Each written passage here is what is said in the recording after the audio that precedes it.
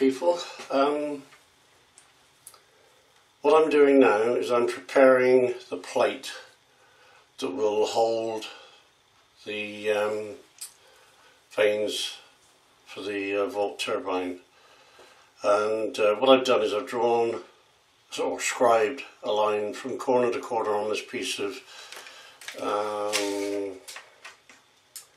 250 by 250 piece of uh, 3mm steel and I've now centered the fixing holes so that they are in the center and on the scribe lines and what I'm going to do now is make sure I don't move it and mark where I need to drill.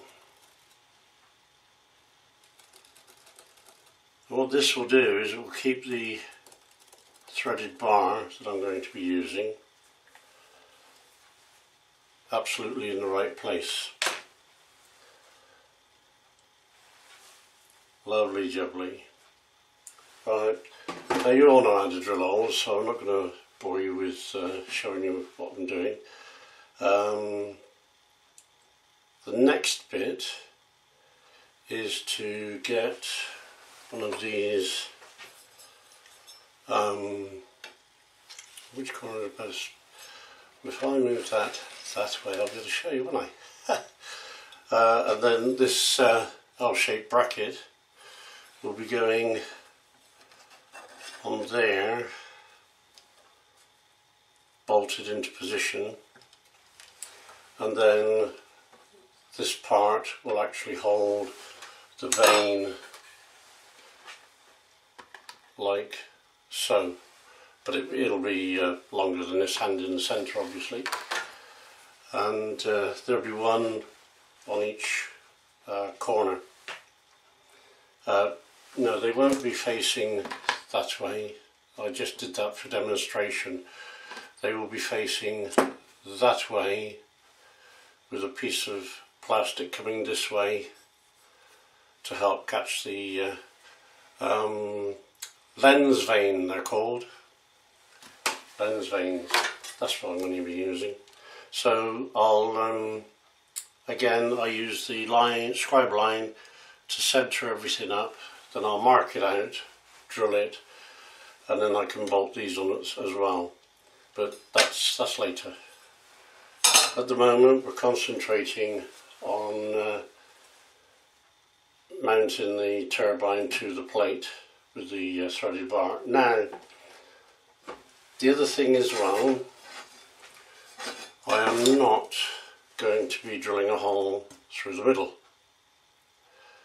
because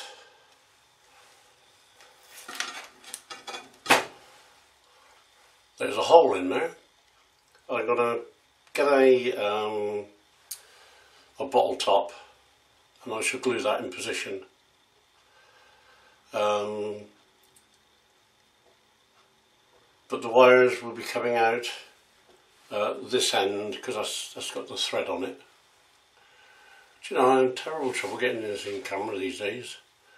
Uh, that's got the thread on it and this will be going on the thread for the fixing.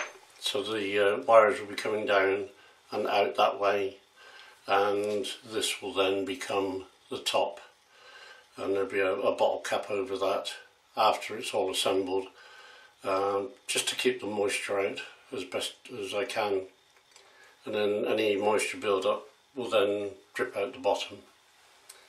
Okay peeps. Okay peeps, uh, because I should be turning this upside down I'm going to cut these cable ties and then feed these cable, pull these cables out and then feed them back up through to come out the uh, threaded end which is where I want them. So uh, let's get started.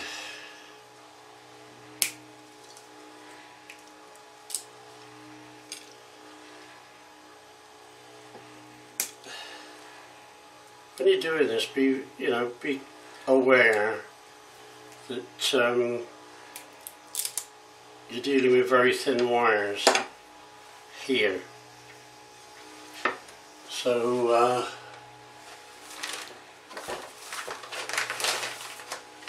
what I shall do, and I'll just cut one off, but I wanted to cut him off because I didn't know whether he'd gone brittle. So I want to replace it with this one, which is brand new, so that I can tie the end of the cables going to the coils down to a coil and it will uh, it'll stop pulling on the coils so much. Right, uh, untwist this pair.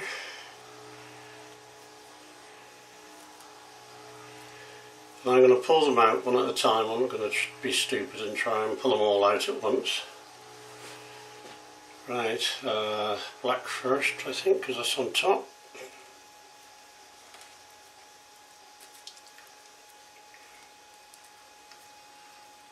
Just go and get some pliers. Chat a minute. Okay, pliers.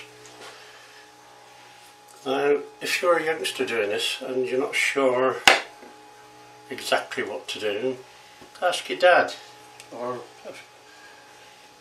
your brother or whoever that can uh, give you a hand. And just very very gently tease out. And once you've got it out so that you can grab it with your fingers it's always best to use your fingers because that isn't going to damage the cable. And obviously that as the wires come out um, right. Choose the next brown. That's the brown one. Um, yeah as as you take them out the they get easier and easier. Oops.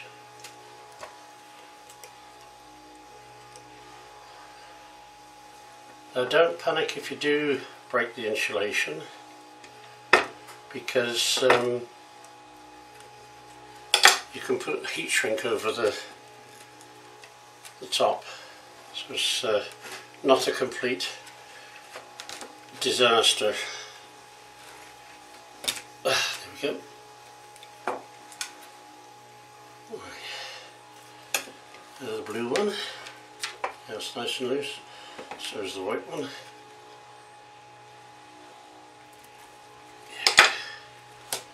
Oops. See, I broke that off because I pulled too hard. So I've got to uh, repair that. Luckily, it broke off at the end where the solder joint was, so that's not a disaster. But it's the sort of thing you've got to watch out for.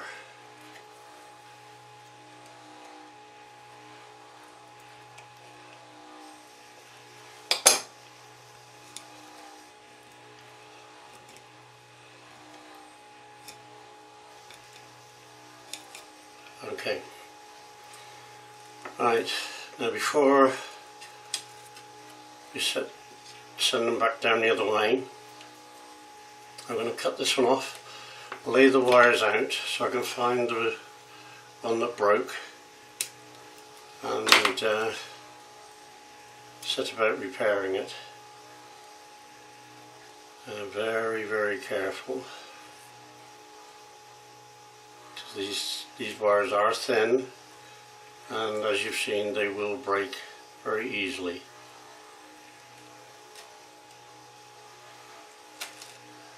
There's the broken one.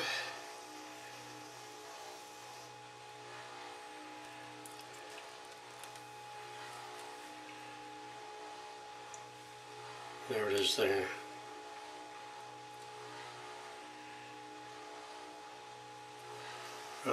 Uh, that is solid. Um, I'd rather it a lot looser than that, but that's the uh, manufacturer's way of doing it. And there's the uh, protection that uh, that wire had. Right, I'm not going to use that, it's too small. Um, this is quite hard, so I suppose it's a good thing. Right, then, I'll straighten this one out.